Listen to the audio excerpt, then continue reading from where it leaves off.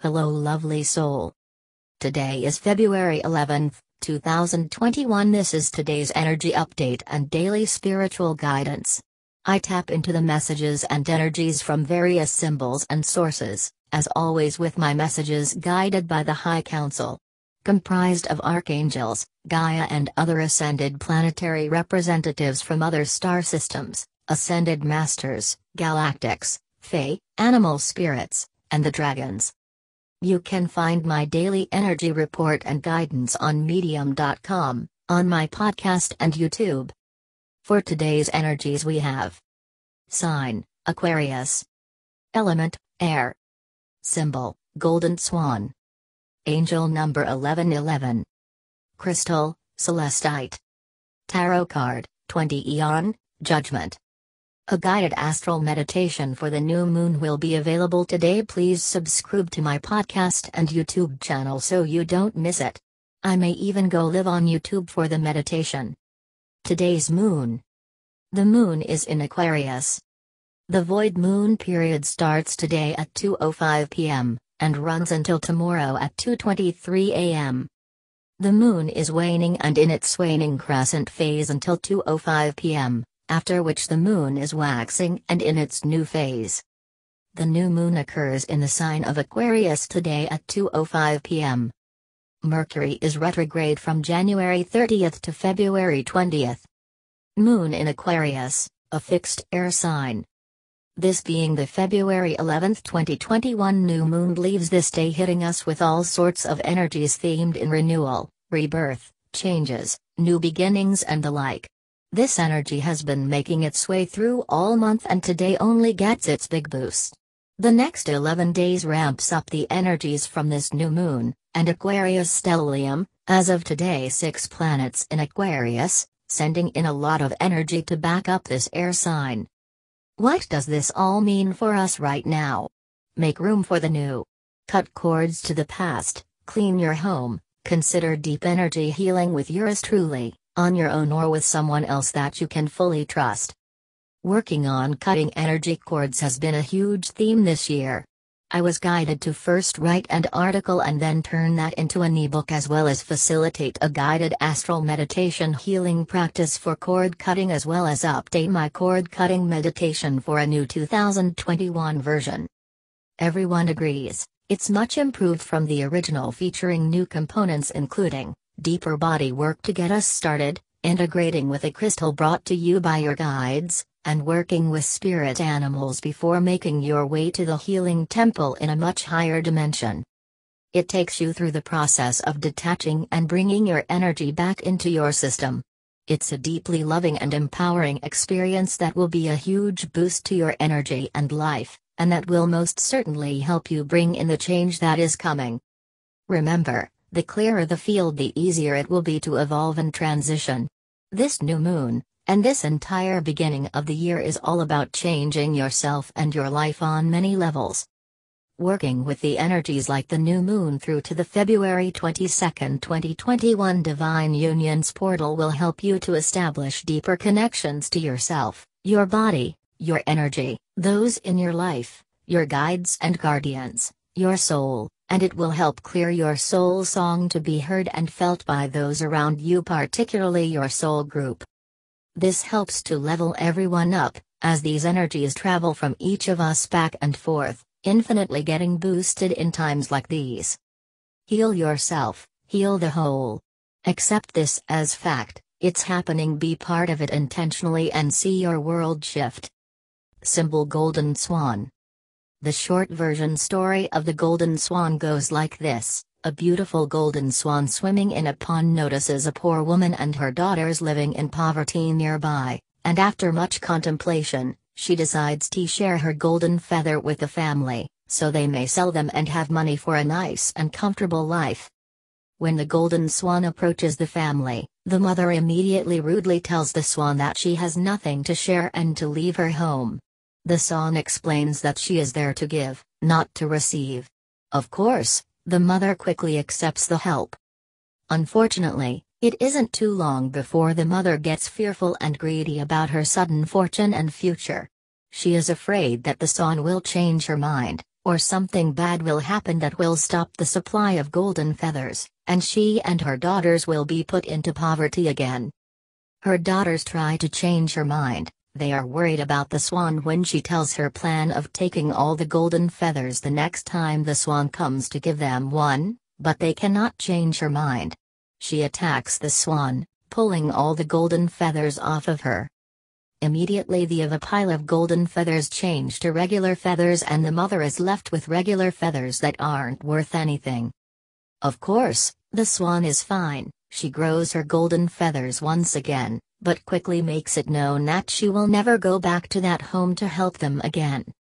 The mother was greedy and fearful, and instead of being grateful and loving the golden swan, she let fear take over and ruined everything. Her apologies did no good because the golden swan knew that if her feathers stayed golden, the mother wouldn't have been remorseful at all. She only thought of herself and didn't care at all about the swan, not only that, she let her fear take over her logic. So there are two morals to this story. The first is not to be greedy, not to be in fear about the blessings that you do have, don't worry that they will go away, don't create a bad situation for yourself. Be grateful for what you have and your blessings. Second, is to not allow others to take advantage of you or your generosity. Don't allow narcissistic people to use you for their own means, while not caring about you even if they are the ones giving to you. It's important to see ourselves from both perspectives and where we were either the swan or the greedy mother and use that wisdom to have more balanced relationships with ourselves and others. Our angel number for today is 1111. This new moon today is bringing us some super intense energies with the Aquarius stellium 6 planets in the sign of Aquarius.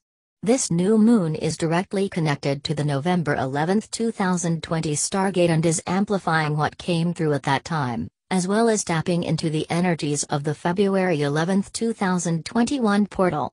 22 equals 1111.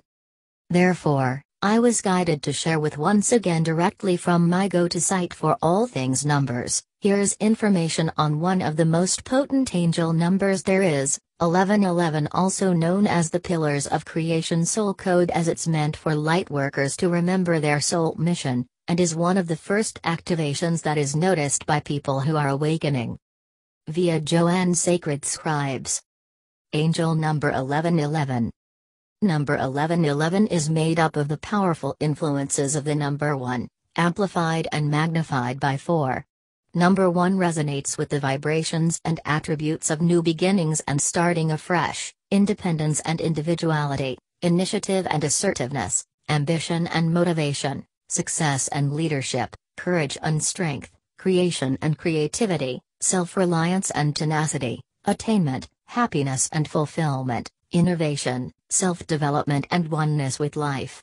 Number 1 reminds us that we create our own realities with our thoughts, beliefs, intentions, and actions.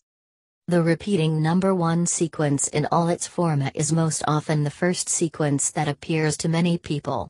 Once the 1111 is acknowledged, the number sequence changes to another combination along with new messages, life experiences, directions, and opportunities. Many people associate the repeating 1111 with a wake-up call, a code of activation and or an awakening code, or code of consciousness. It can also be seen as a key to unlock the subconscious mind, and reminds us that we are spiritual beings having a physical experience, rather than physical beings embarking upon spiritual experiences. Upon noticing a frequency of 1111s appearing repeatedly, you may begin to see an increase in synchronicities and unlikely and miraculous coincidences appearing in your life. At times, when you are about to go through a major spiritual awakening or an epiphany of some kind, the number 1111 may appear in your physical reality and experience to signal the upcoming change or shift. When noticing the angel number 1111 appearing, take notice of the thoughts you had right at that moment, as 1111 indicates that your thoughts and beliefs are aligned with your truths. For example, if you held an inspired idea at the time of seeing 1111, it would indicate that it would be a positive and productive idea to take action on. When angel number 1111 appears repeatedly, it signifies that an energetic gateway has opened up for you, and this will rapidly manifest your thoughts into reality. The message is to choose your thoughts wisely, ensuring that they match your true desires. Do not put your energy into focusing on fears as you may manifest them into your life. Angel number 1111 is a message from your angels to be very aware of your persistent thoughts and ideas as these are manifesting quickly into your reality. Ensure that your beliefs, thoughts, and mindsets are positive and optimistic in order to draw the energies of abundance and balance into your life.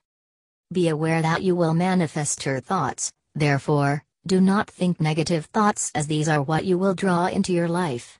Use the positive energies of the universe to bring to fruition your deepest desires, hopes, and dreams.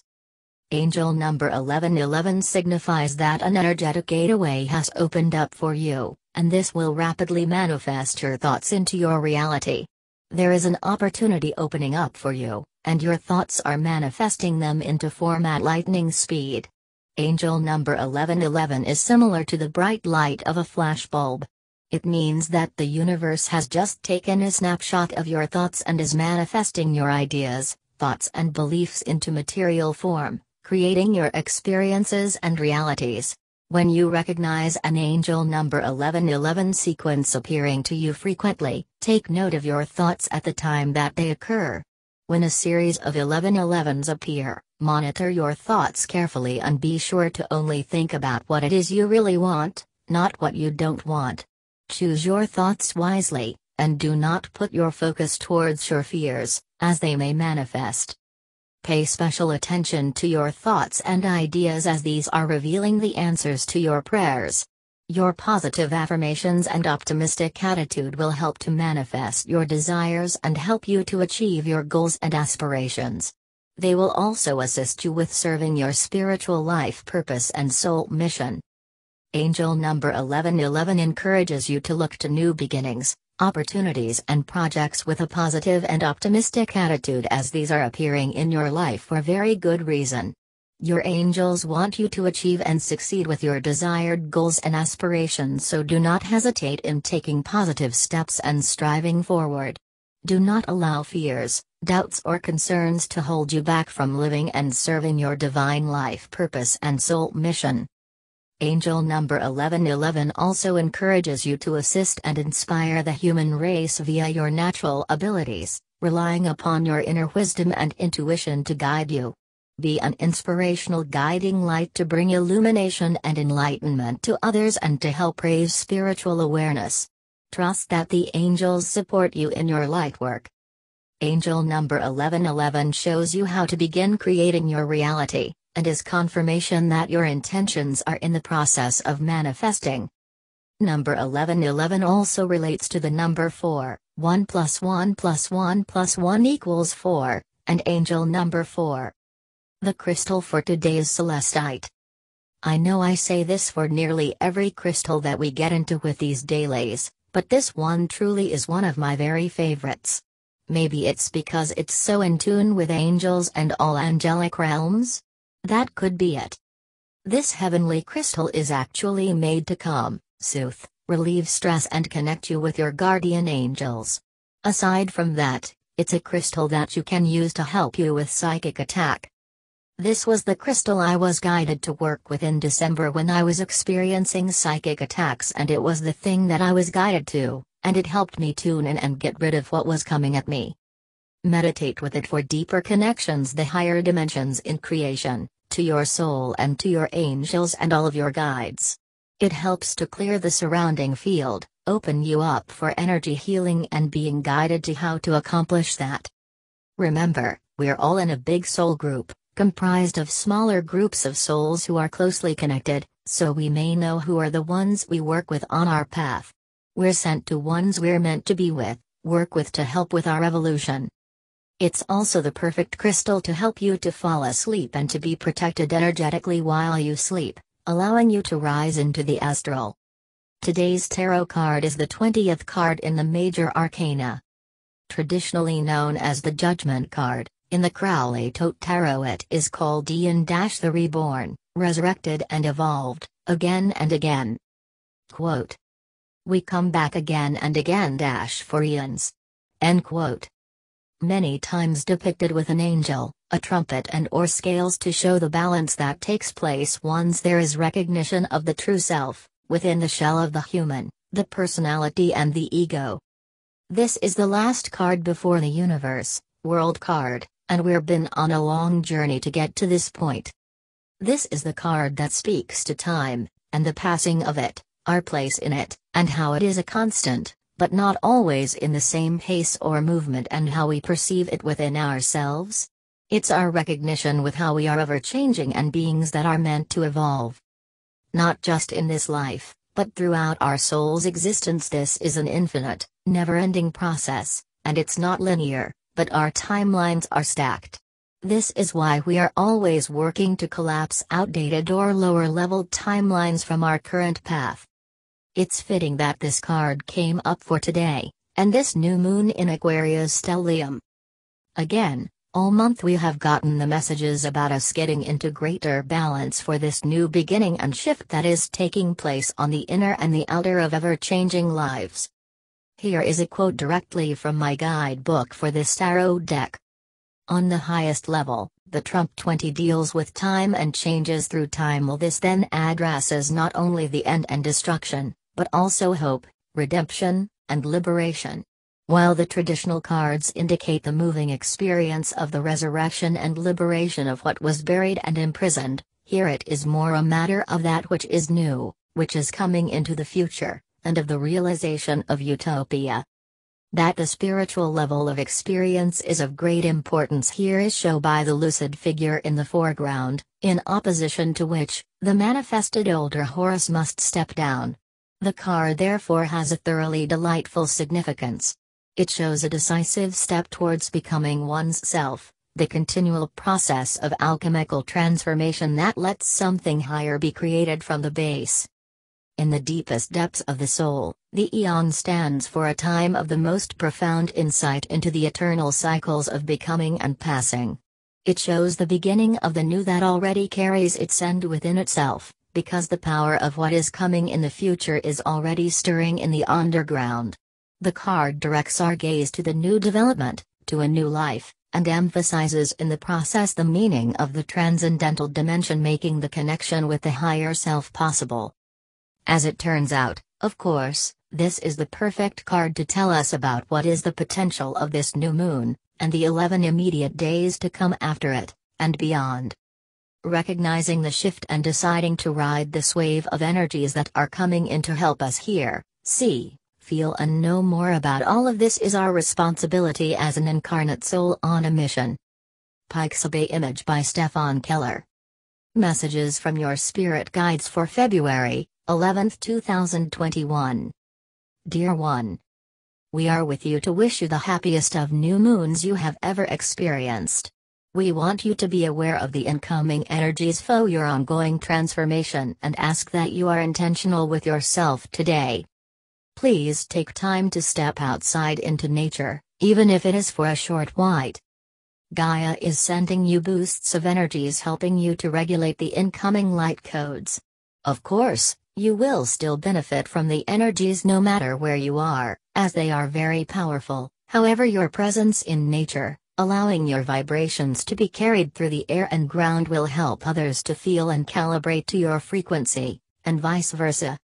This entire process for energies being sent back and forth between all of you is ramping up at this time, and will continue from this point forward.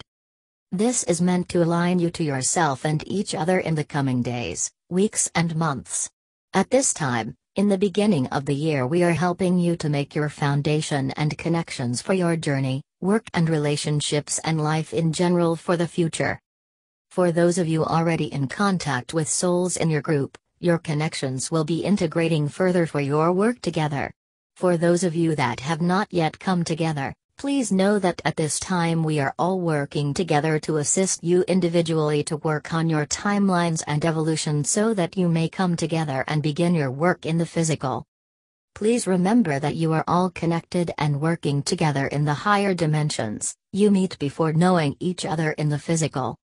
Of course, Your top priority is to align with yourself, your soul, and us. Your guides and guardians know that anyone and anything that is meant to come into your life for any reason at all will, all at the right time.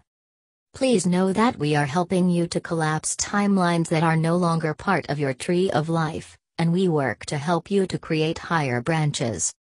Take time today to consider your last month and the perceived negatives or positives and work to integrate what was positive with your higher timelines, and work to transmute the negatives, releasing them to us. Take time to write down your wishes for this next cycle and what you wish to heal from, what you are ready to receive, and how we, your guides and guardians, may help you. Then meditate about what you have written, and connect with us and Gaia as well as the dark moon, accept the incoming light codes that are coming in throughout the day. Remember to be open to receive our messages in the various ways that they come to you. With love and light. Your spirit guides. Meditation. I will be facilitating a meditation for the new moon. Keep a lookout on my podcast and YouTube for the recording. There's also a possibility I'll be guided to go on YouTube Live for the meditation. Of course, you can participate in the meditation at any time or any day if you can't catch it love or if you're seeing this after the new moon. In fact, Feel free to circle back to the 1111 Stargate meditation to round out this one. It is on my YouTube channel. Happy 11th of February, lovely soul. I truly hope it's magical for you. Please post any questions in the comments. Thank you for reading today's messages. See you tomorrow. If you resonate with the vibrations of these messages, please visit my website to download my four new and free ebooks. 1. The Essential Empath Guide. 2. What is Psychic Attack and How to Eliminate Negative Energy.